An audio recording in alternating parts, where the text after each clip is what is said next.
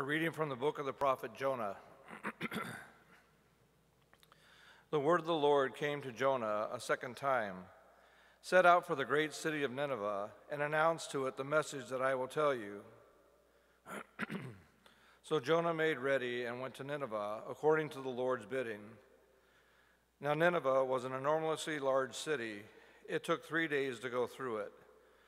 Jonah began his journey through the city and had gone but a single day's walk, announcing, Forty days more, and Nineveh shall be destroyed. When the people of Nineveh believed God, they proclaimed a fast, and all of them, great and small, put on sackcloths. when the news reached the king of Nineveh, he rose from his throne, laid aside his robe, covered himself with sackcloth, and sat in ashes.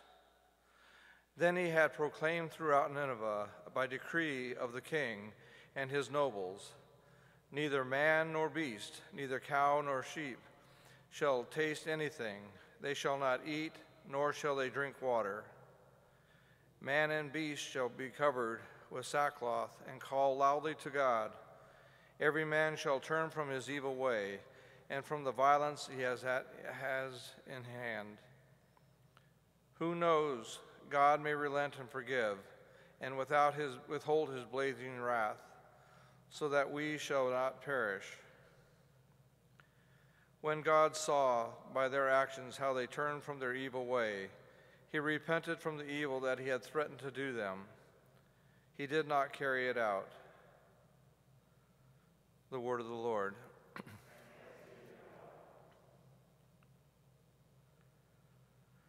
A heart contrite and humbled, O God, you will not spurn.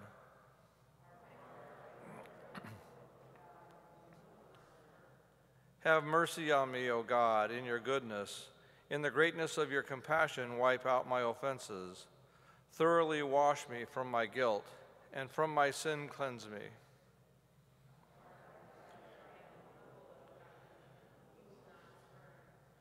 A clean heart create for me, O God and a steadfast spirit renew within me.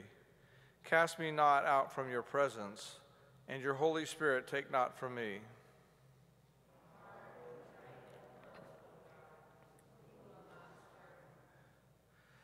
For you are not pleased with sacrifice. Should I offer a burnt offering, you would not accept it. My sacrifice, O God, is a contrite spirit, a heart contrite and humbled. O God, you will not spurn.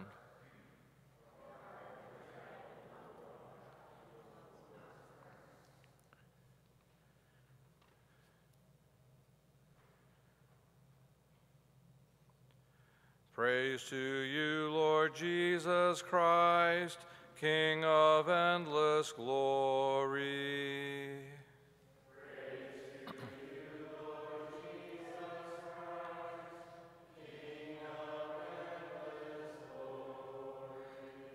Even now, says the Lord, return to me with your whole heart, for I am gracious and merciful.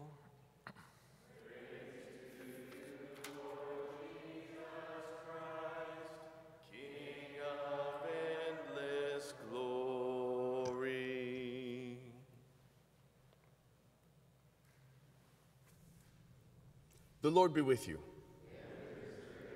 A reading from the Holy Gospel according to Luke.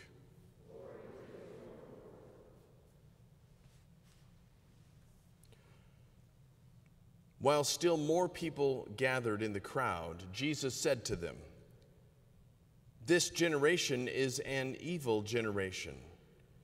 It seeks a sign, but no sign will be given to it, except the sign of Jonah. Just as Jonah became a sign to the Ninevites, so will the Son of Man be to this generation. At the judgment, the queen of the south will rise with the men of this generation, and she will condemn them, because she came from the ends of the earth to hear the wisdom of Solomon. And there is something greater than Solomon here. At the judgment, the men of Nineveh will arise with this generation and condemn it because at the preaching of Jonah, they repented. And there was something greater than Jonah here. The gospel of the Lord. Thank you, Jesus.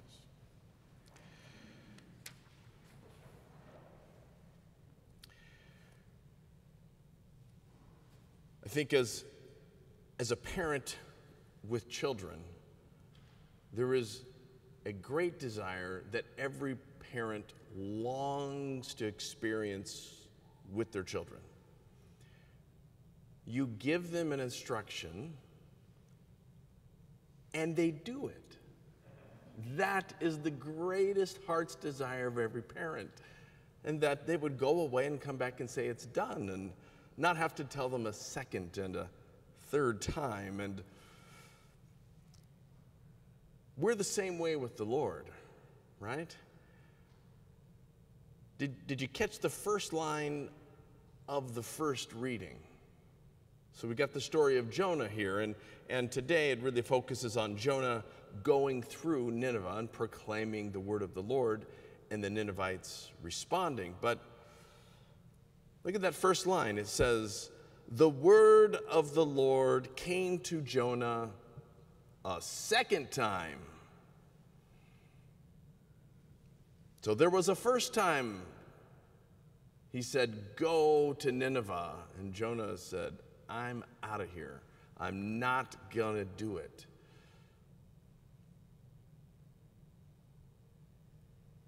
The Lord is desiring us to respond to Him to that thing that He's called us to do, and to do it today, to do it now. He's put something in each of our hearts that He is wanting to move us either away from or deeper into greater level of prayer, faithfulness, or obedience, or someone God is calling you to reach out to.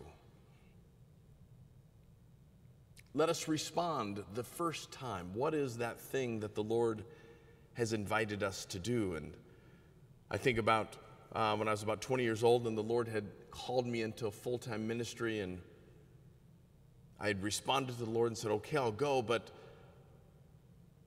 the school that I knew I was supposed to go to, I thought, well, I, that's, it's too expensive. I, I can't go there. I, there's too many, it's too complicated. So I'm going to go to this other one first, and I will, it'll be cheaper, it'll be better, it'll be easier. And uh, I knew where the Lord had said to go, but instead I went the other way. And let me tell you, that semester I spent at that other school was a total waste. the education, the environment, oh man. And I sold a bunch of stuff that was actually really worth keeping to pay for that semester. And, and it was just, it was a bad deal all the way around. And when I finally got to where the Lord had me to go, uh, then many blessings uh, poured out there uh, not the least of which was the same school that uh, my soon wife to be would be attending. So the word of the Lord came to Jonah a second time. What is God calling us to do? As Jesus is talking to the people of his day, it's not the fact that they sin that's the problem, it's the fact that the word of the Lord is going out and they are not responding to it.